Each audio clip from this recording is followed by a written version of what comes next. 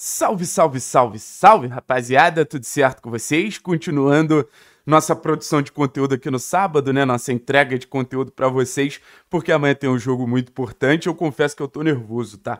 Confesso que eu tô nervoso para essa semana como um todo, porque eu considero dois grandes jogos de Campeonato Brasileiro. O fato de ser uma competição de pontos corridos, você não tem aquele frio da barriga no mata-mata, mas quando você tá na parte de cima da tabela, quando você tá entre os primeiros colocados, a última coisa que você quer é sair dessa posição, quer passar as 38 rodadas por ali, porque vai que em algum momento você assume a liderança e não larga, né? E eu tenho convicção se o Atlético ganhar de Flamengo e se o Atlético também ganhar do Botafogo no meio da semana, a liderança vai ser uma realidade. Então, eu trouxe isso, essa perspectiva para vocês desde o começo do campeonato, né? Pode ser uma temporada um pouco diferente para o Atlético no seguinte aspecto pode ser uma temporada um pouco diferente em relação ao foco da temporada do Atlético, porque nas últimas temporadas a gente viu o Atlético, na maioria das vezes, se dedicar e focar mais nas Copas do que no campeonato de pontos corridos, que é o Campeonato Brasileiro, né? Mas eu já trouxe esse questionamento aqui para vocês mais de uma vez. E se essa temporada for o inverso? E se essa temporada a gente tiver o Campeonato Brasileiro como a grande prioridade do Atlético e a competição que naturalmente o Atlético vai crescendo, vai se estabelecendo e vai vendo que, pô, é por ali que a temporada tem que ser desenvolvida. Não é impossível, mas para isso, assim como nas Copas, você precisa ganhar os jogos grandes. Assim como nas Copas, você precisa ganhar os principais confrontos. E ninguém tem dúvida pela realidade do, do, do, Atlético, pela realidade do Flamengo, pela realidade da tabela. Atlético Flamengo é sim um dos grandes jogos do campeonato. E naturalmente, quem ganhar sai com muita moral, quem ganhar sai com, muita, com muito ânimo para a sequência da competição. Vou pedir para você deixar o like, se inscrever no canal, lembrando que todas, todas, todas as odds de Atlético e Flamengo vão estar tá lá na KTO Use o código 3 pontos para ganhar 20% de bônus no seu primeiro depósito. Vamos começar a falar sobre as mudanças que eu acredito que vem para o time. A gente naturalmente vai apurar se vai ter alguma mudança tática, se vai ter alguma mudança um pouco mais aprofundada na equipe, mas pelo que eu conversei com algumas pessoas, Primeira mudança, na maneira do Atlético jogar em relação ao time que entrou em campo contra o Criciúma. O time que entrou em campo contra o Criciúma era um Atlético querendo ficar mais com a bola, ter um jogo mais posicional, ocupar mais o campo do adversário. Esse Atlético contra o Flamengo, não. Até porque é aquilo que a gente fala, quando você joga contra o Criciúma, é, é um jogo completamente diferente do confronto contra o Flamengo.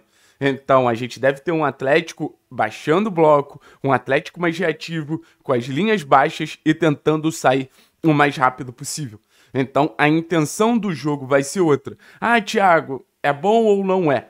Eu acho que o Atlético teve mais êxito jogando nessa nesse modelo de transição do que jogando em um jogo mais posicional. Até no jogo contra o Criciúma. Se você comparar o primeiro tempo e o segundo tempo, o Atlético se sentiu muito mais confortável em momentos de transição.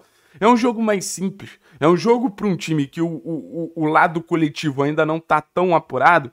É um jogo mais simples de você desenvolver. É um jogo mais simples de você executar, sabe? Então, a primeira grande mudança é essa. E acho que é uma mudança que fala muito sobre a identidade desse time.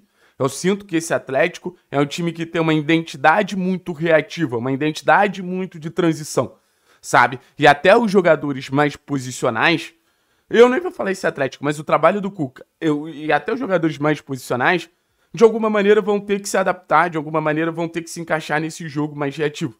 Porque é muito característico do Cuca. Até nos principais trabalhos, onde ele tinha times realmente mais fortes, times milionários, ele optava por esse modelo de jogo. Então, primeiro ponto é esse. Segunda mudança, lateral direita. A gente pode ter a saída do Leonardo Godoy, que não vem fazendo boas partidas, para a entrada do Madison. Ah, Thiago, você aprova ou não? Não aprovo. E não que o Godoy venha sendo um fenômeno, não que o Godoy venha sendo o melhor lateral do século, não que o Godoy venha sendo um espetáculo, não, vem jogando mal. É, é, é bem decepcionante até aqui o que o Leonardo Godoy vem entregando com a camisa do Atlético. Mas o Madison é um lateral, na minha visão, inferior. Um lateral que pode comprometer mais, um lateral que, que, que assim, te dá menos diálogo, a bola bate nele, o jogo é mais travado, tem mais erros técnicos, mas o Madison que tem uma jogada muito eficiente, que é a bola alçada no segundo pau para o Madison cabecear para dentro.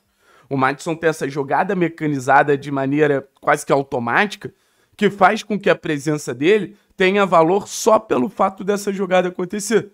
Tenha valor só pelo fato dessa jogada ela, ela sair ali do papel. Então é um sentimento que o Madison é, pode assumir essa vaga e, e, vai ser uma jogada muito forçada, né? Porque se tu para pra pensar, o Flamengo, até onde eu sei, pelo menos no último jogo, jogou com o lateral esquerdo improvisado, que foi o Léo Pereira.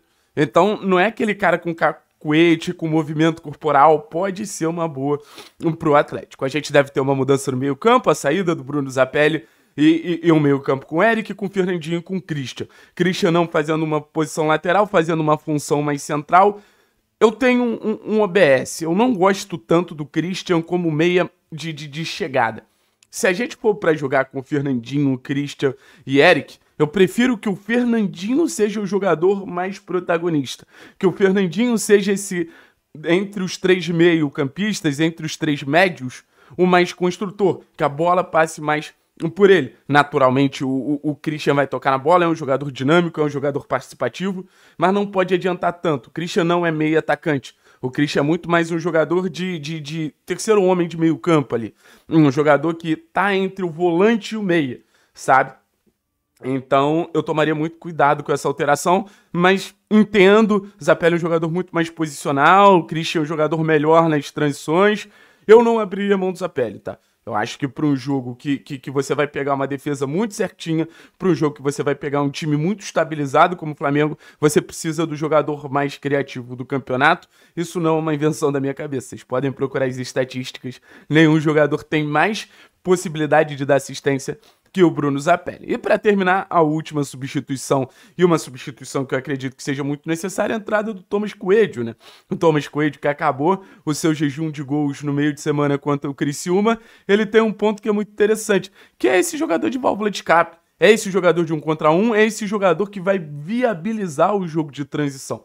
Se o Atlético quer optar por esse modelo de jogo, muito passa por um Coelho eficiente, muito passa por um Coelho entregando um grande jogo, como entrou muito bem contra o Criciúma. Seja indo para um contra um, buscar essa jogada de fundo para tentar encontrar uma Mastriani, tentar encontrar um Christian pisando na área, um Eric pisando na área, ou seja, trazendo para dentro para buscar finalização. Acho que é um tipo de jogo que você tem que ter coragem, acho que é um tipo de jogo que você tem que arriscar. Então vejo um Atlético muito mais reativo e vejo um Atlético indo com Léo Link, Madison, Kaique Rocha, Thiago Heleno e também o Lucas Esquivel. No meio campo, Eric Fernandinho Christian, Nicão, Coelho e também na frente, acho que assumiu a vaga de vez o Gonzalo Maestrani. Qualquer alteração a gente vai falando, mas a princípio vai ser isso. Lembrando, Atlético deve jogar mais num bloco baixo. Thiago Heleno tende a crescer. Thiago Heleno não é um zagueiro de perseguições longas. Se sente muito mais confortável a partir do momento que está